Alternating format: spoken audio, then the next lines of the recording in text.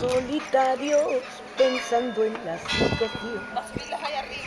Lo que me pasó aquella noche sin salir de ronda. Dzień dobry, nazywam się Edyta Niewińska. Chciałam Was wszystkich zachęcić do zbiórki e, na wydanie mojej książki. Moja najnowsza książka ma tytuł Lewanta, a część akcji odbywa się właśnie w tym przepięknym andaluzyjskim miasteczku.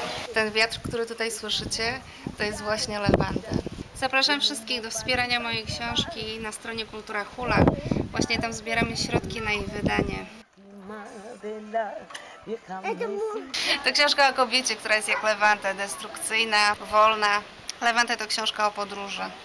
O podróży, jaką każdy z nas chce odbyć.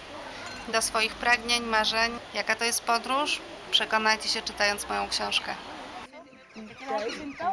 Lewanta to książka dla wszystkich tych, którzy kochają dobrą literaturę.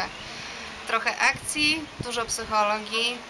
Myślę, że każdy z Was odnajdzie w niej cząstkę siebie.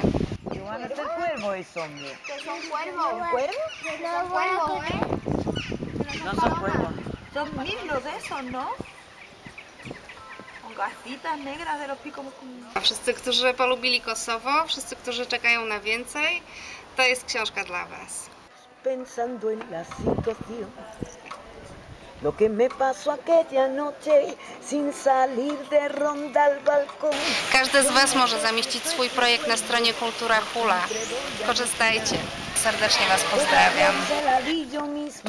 Antes de empezar a fumar y de ya dejar su tarjeta en